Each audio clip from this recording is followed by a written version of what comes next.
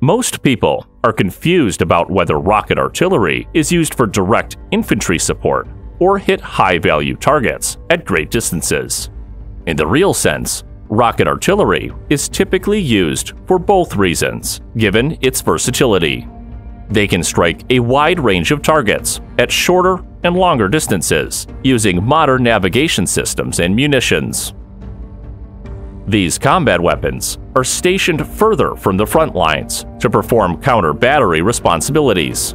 The Sky Sabre was designed to take the place of the Rapier, renowned rocket artillery.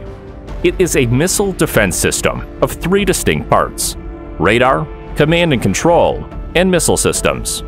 The Sky Sabre works on the modern battlefield by monitoring 24 missiles simultaneously while in the air directing them to ambush 24 different targets.